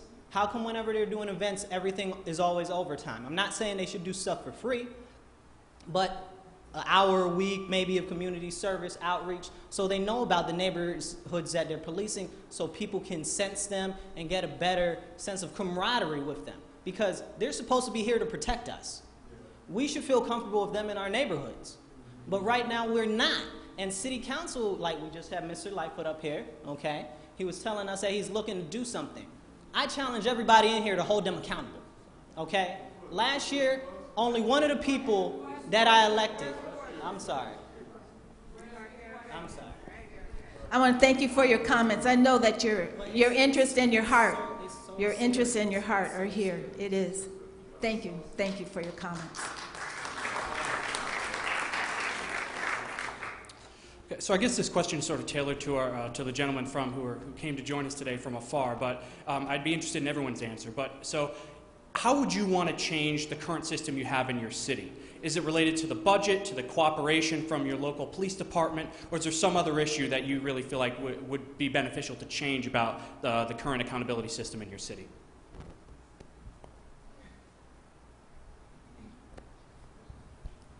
I'll try not to get in trouble. we, we, okay, we, we just started the commission, so that is a, a major change. Um, I would, I would have, instead of starting in December, I would have liked to have taken more time before that commission began to do its public work to get the training, to bring them in and actually uh, you know, teach them and, and work with them so that when they begin to meet as commission, they can actually do the work. Right now, we're in that training process. And yes, it sounds good to say we have it, but right now, we're still, they still need to learn what they're doing, and every, they still need to have the organizational pieces in place. Uh, even with my agency, you know, we went from the CPRB to now a totally investigative agency. There's changes there so that it takes time to do that. So before we just made a quick switch and from one to the other, I would have liked to have had, and I did recommend to the council and to others to enact it and then give us 18 to 24 months to actually do it right. Give us the finances, give us the budget. We went, and see, this is how you know how government works. We went from uh, July of yeah July 1 of 2017 through until the end of June of, of 2018, and the commission really doesn't have a budget. There was no money aside. I was able to foresee that and put extra money into my budget that I can transfer over, but that's still not enough. You know, so it's things like that where people will say, "Yeah, we're going to do this," and "Yeah, we got this," and look what we've done. But then when you actually have to do the work, uh, the resources aren't there. So the time to properly do it right and roll it out right is what I would like to have changed.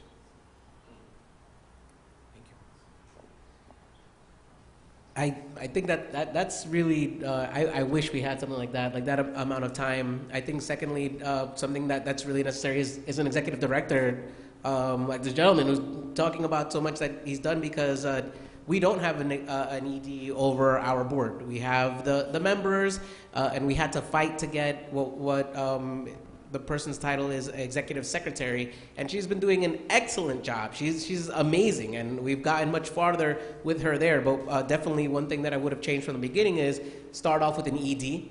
Start off with, with actually having the, the $500,000 uh, allocation that's in the ordinance that be enforced. Um, and although this isn't part of the system, but it shows you also where uh, the, the, the, what the priority is of, of, of, the administration and the CCRB is that we are located in an old firehouse that is not ADA compliant. And half of our members have trouble getting up to the fourth floor.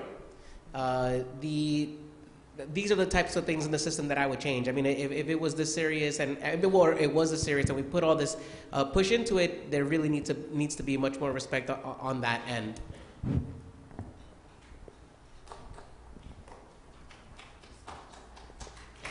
Thank you for those comments. I'm trying to bring a microphone closer to our, our um, audience for the questions. So my question to you, uh, is you gonna be willing to come back? Because I'm gonna need you to come back here because there's a whole lot of people that need to be here that ain't here. Police chief, mayor, police union head, all them need to be up in here. Um, we this has been a long, long battle um, with no results. All this take it to Albany. We've been taking it to Albany. Ain't nothing been done. We about ready to take it to the streets. I, I'm thinking that's probably what's going to be the end result. Um, but we're going to need you to come back because we need to get some more people up in here to listen to you. I was feeling you, my brother, man. You you representing both both sides of the coin. Um, but to be honest, the elephant in the room is that the people, the status quo people that need to be in here, ain't here. So I'm asking you, will you come back when we get them to come in this room? Yes.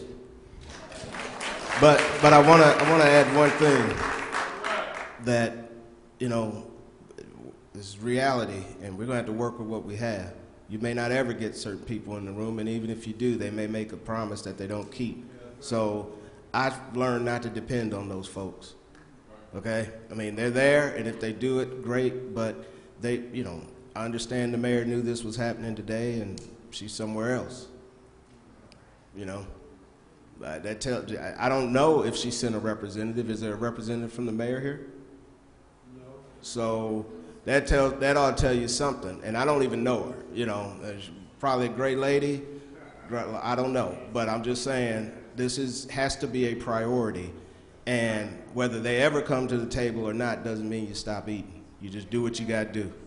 Thank you, Mr. Finnell. Our next questioner. Before I ask my question, I do agree with the gentleman that was just up here. We do need to bring it to the streets. And if y'all ever catch me in the streets, I am that individual that brings it to the streets. My name is Jasenia Edgeston, and you will catch me in all the streets of Rochester. Thank you very much. And now my question specifically is to this misconception of the law that um, city council member had just brought up here in regards to what can we actually find out and what is actually hidden to the eyes of the public. And I would appreciate if my co um, enough is enough member AJ will actually assist me in answering that question.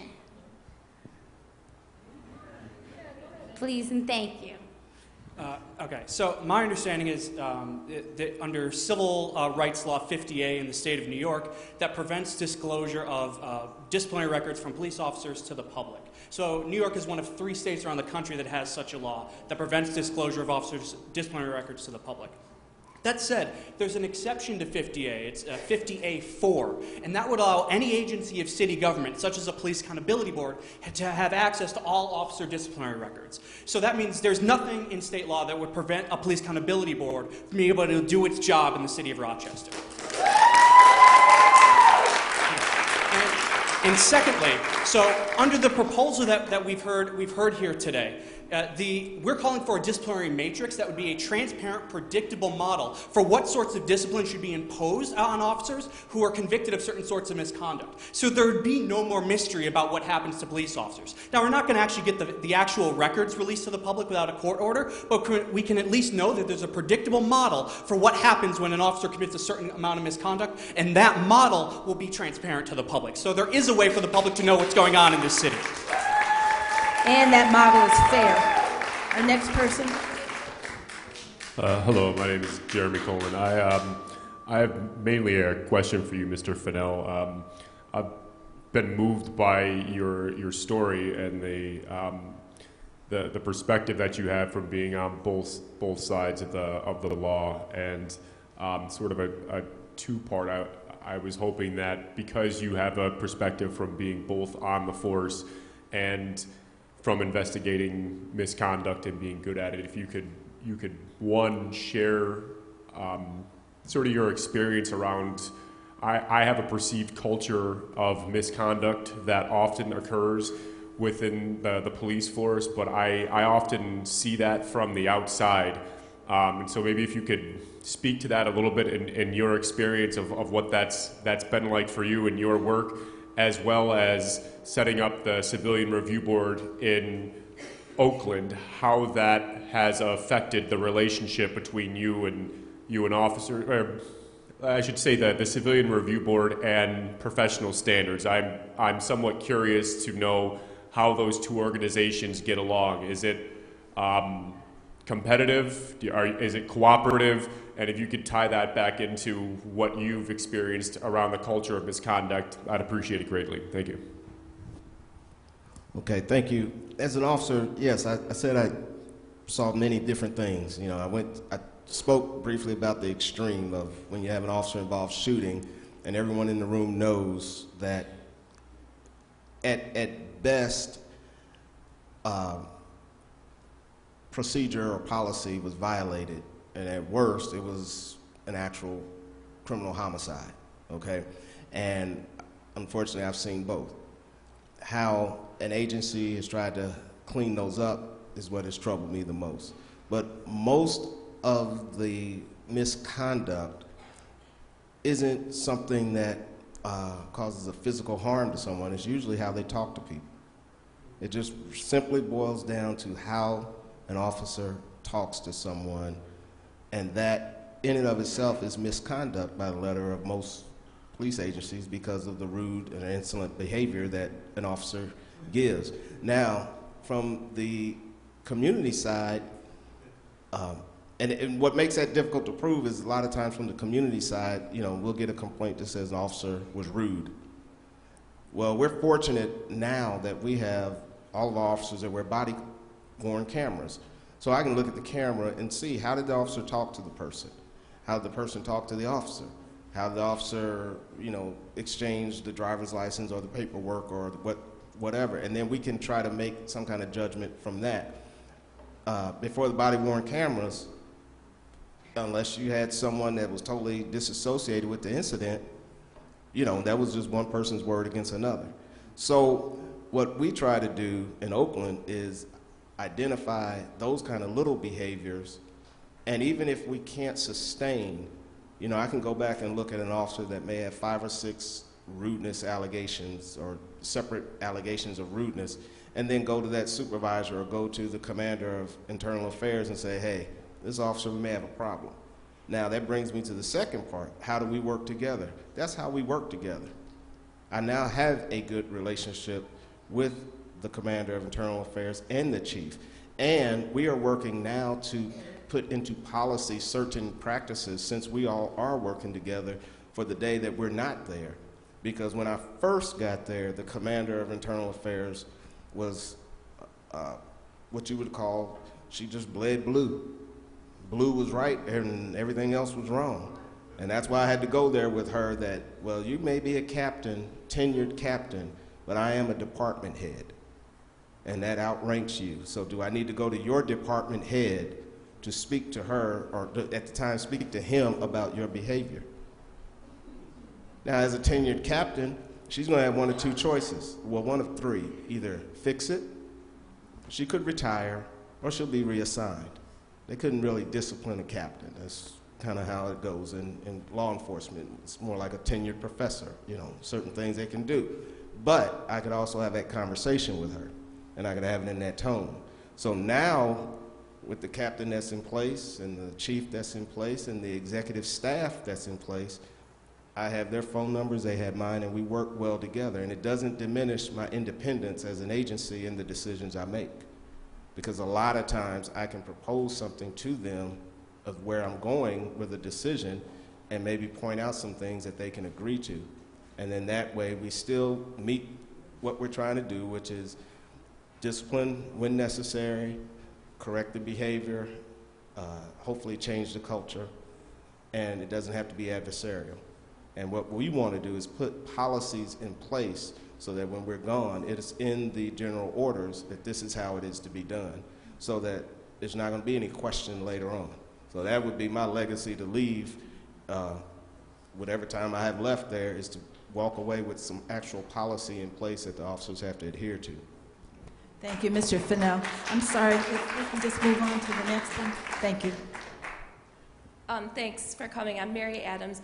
My question is actually in direct follow-up to that um, regarding the policy uh, in the ways that inter- internal affairs or professional standards would interact with independent civilian review boards. Um, I was a witness in, a few years ago to a, a really severe brutality situation. Actually, it led to the formation of Enough is Enough, um, that case. And I already knew that our professional standards would not do anything with it. I thought that, you know, it was a useless step to go to them, and instead we're working to bring light to the situation in other ways. Um, but the attorney involved did want me to go to professional standards, so I did.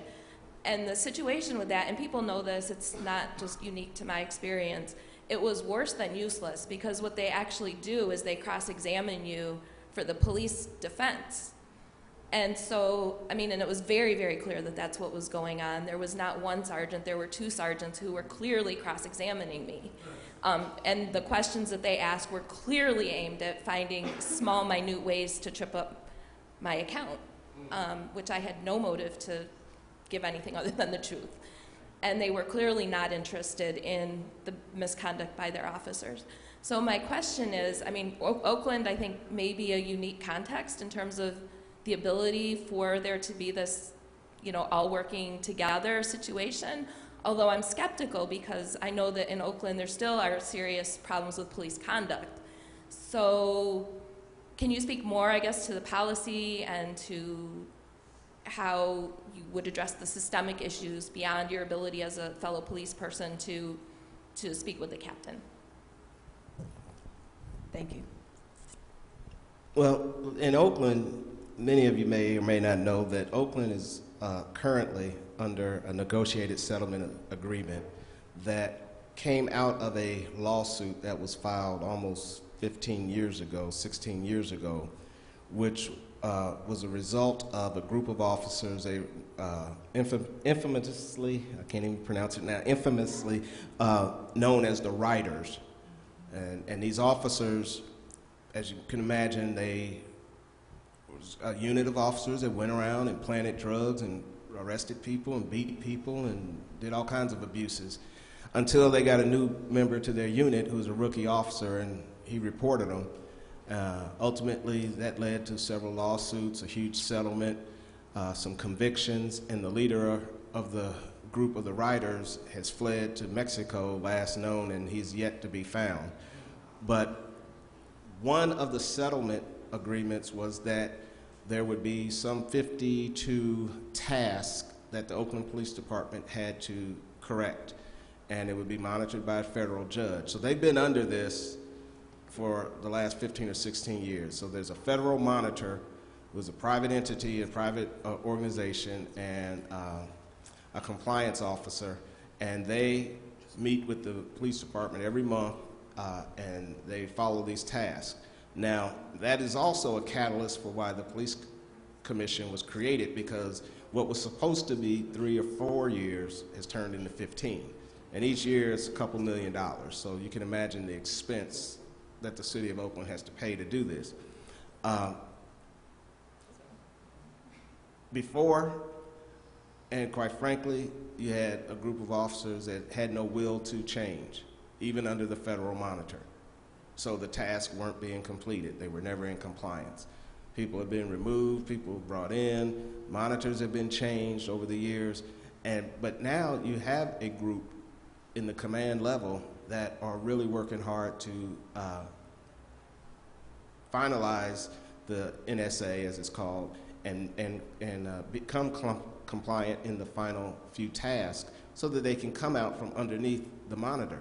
But not just for that time period, but they've also instituted policies and, uh, and uh, uh, procedures to maintain the consistency once they uh, come out from under it. And part of that is the police commission and is uh, my agency as part of that process. And really, if you have a uh, professional standards unit, as you described with Rochester, where they're you know treating people that way and not trying to uh, get to the truth, then that's a, another systemic issue that goes from the top down. And it, at some point, it may be a combination where you know you develop a pattern and practice case and show or uh, the, what's going on in Rochester, or you develop you know um, from several people get their account of the mistreatment they received and put together another type of lawsuit, you know, attack them that way. Because it is going to take a concerted effort on many different fronts, and it might just take, you know, uh, unfortunately during this climate, it's probably not going to happen until we get a new Department of Justice, uh, new president in, but that might be the way to go, you know, uh, and really trying to institutionalize what it is you want into the agency. Uh, that way, if it's a violation of that policy, that is another way to deal with, you know, handling that discipline. But if it's not a policy, if it's not written down, if it's not institutionalized, then uh, you can't hold anyone accountable. So it's, it's, it's a multifaceted issue that, um, and, and breaking down that culture within the department is going to take a long time. You know, I think gentleman mentioned something about the hiring. You know, when you got people that don't live in your community, yet they're policing your community, that's an issue. You know, and it goes back to recruiting. Who are you trying to recruit?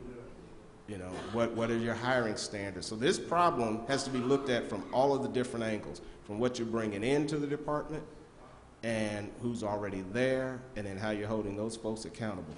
And if you look at it like you would a business model, you know, if you want to make this bottle right here, this bottle doesn't hold this water just because somebody threw it together. The right quality materials went in to hold this water.